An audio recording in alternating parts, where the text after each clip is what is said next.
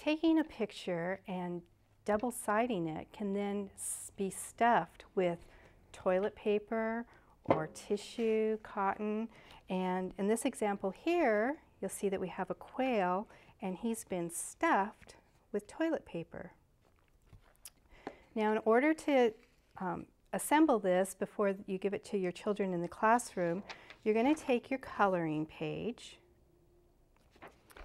and you want to determine which part of the picture that you actually want for your image. Now if you notice on this one here, we don't have the full image of the quail. So we need to fix that so that we have just the quail without the leaves on it. So I'm going to take and white out the part that I don't want, which are these blades of grass coming up. And once I've whited out the entire part that I don't want, you'll see the white out part here. Then I need to draw in the pieces to finish off the quail. So using a black Sharpie,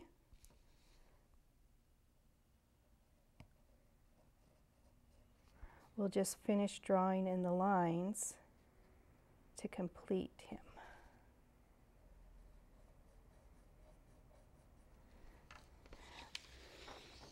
Once we're all drawn in, then we have our completed quail. Now in order to make him double-sided, in other words, you need a mirrored image for the back, and then you'll need a front piece. We're going to need two quails. So I would cut him out and put him onto a plain piece of paper. And here I've just um, used some regular scotch tape to tape him down. This would be our front. To, in order to get a back one that is exactly the same as the front one, I'm going to copy it onto a clear transparency. Then when I make my copy for the back, I'll take my transparency, flip it over, and make a copy. So now we have the back side. And as you can see here, we have a front and a back that are exactly the same but mirrored. Now in order to put this together so that they're back to back, we're going to run a line of glue along the back and you'll just follow the line here. I'm going to leave this top part open right here. So we'll just put some glue on. Now I would have this finished before before I take it to class for the children. That way it's all dried and cut out and ready for them to stuff. So you've got the glue on there. Now you're going to take your mirrored image and you'll just hold it up to the light and line it up so that your lines all match.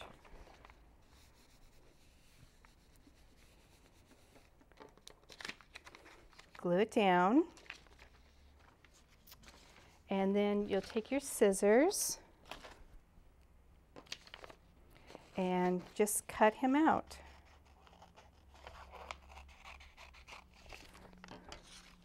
So when he's fully cut out, you'll have the top opened here, and then the rest around it is all glued.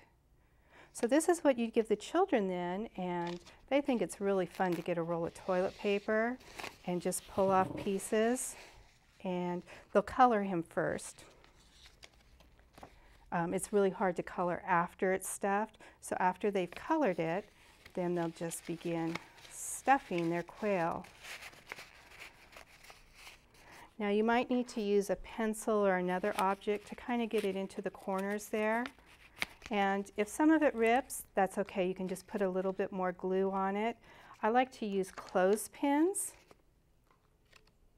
to then after, if you glue it a little bit, put a clothespin on there.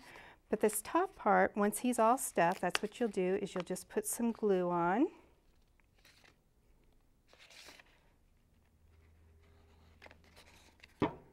And then put a couple of clothespins on there to hold him shut until he's dry. You'll give the children their backing and then they'll just glue their dried quail on there. And if you just glue the, the tail part, then he kind of will stick out and you can kind of move around a little bit. Um, on my example here, I've also added a feather to the top, so that makes it fun. Another example of stuffing is our little bear here. And for this particular one, I only need the front part copied. His back is plain.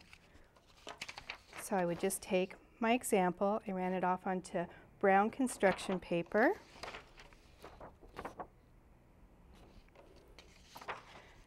Cut him out just a little bit so that then I can glue him onto a plain piece of brown construction paper. And again, on this one, I'm going to leave the bottom part open.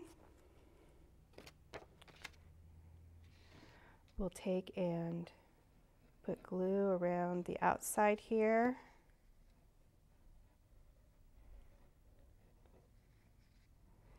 And being pretty generous with the glue. Glue them down.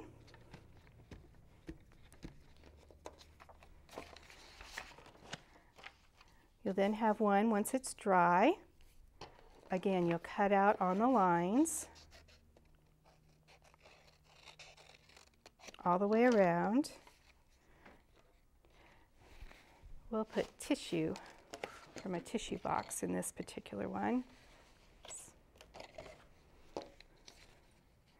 And again, you may need to use a, a pencil or another object to push that tissue down into the bear.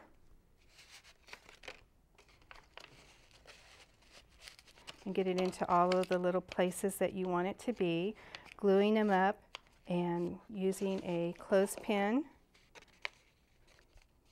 and just add a ribbon to his neck.